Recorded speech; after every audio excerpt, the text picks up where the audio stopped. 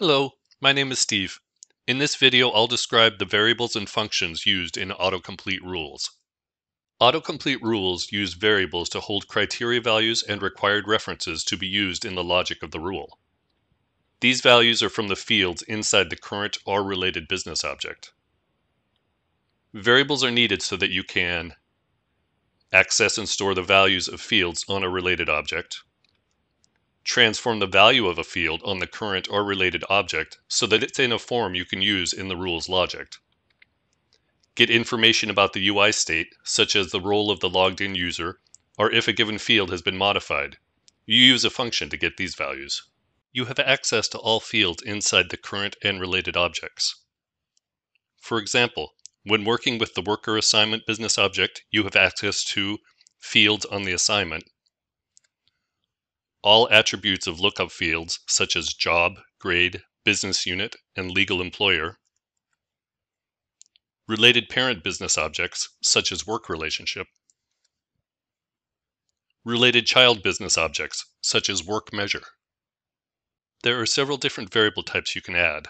Some examples include string, which you can use to define a specific regular expression pattern to match a user input text field to, such as phone number, address lines, name, and so on. Another purpose would be to apply a transformation function on a field that returns a value of type string.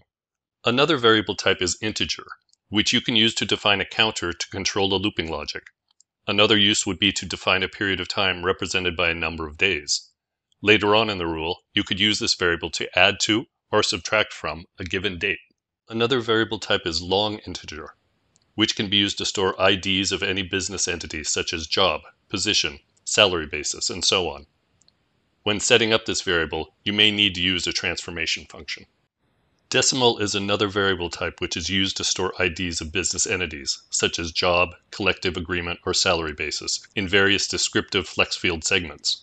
When setting up customer-specific associations between various entities, you can use value set queries on other objects. Currently, the transformation functions that return a decimal type value aren't available unless you have a custom object function that returns a decimal type value. Another variable type is date, which stores a date derived from a calculation involving adding or subtracting a specific number of days from a specific date. Or you can apply a transformation function to return a date type value. Boolean is another variable type used to control looping structures or when you apply a transformation on a field that returns a Boolean value. Row and row collection are special variable types which are discussed in a separate topic.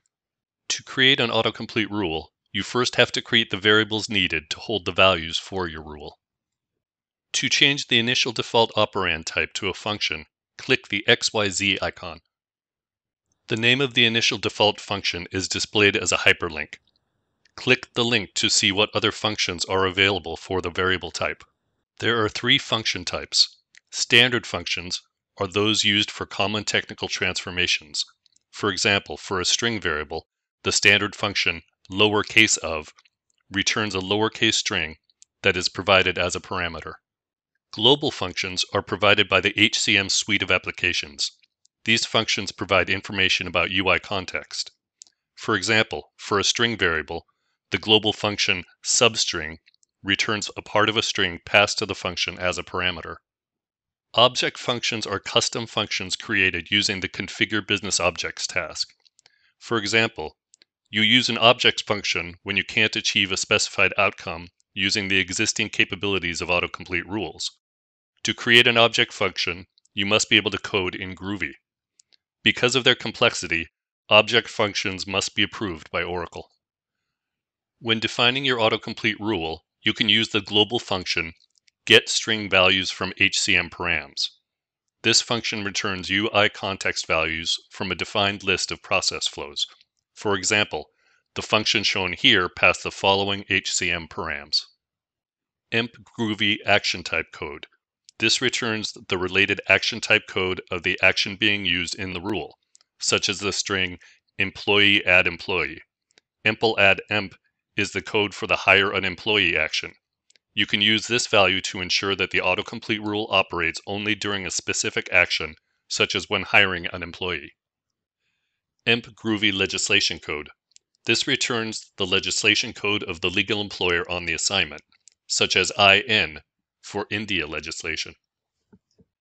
EMP Groovy Legal Entity ID. This returns the legal entity ID of the legal employer on the assignment, such as 202 for the Vision Corporation.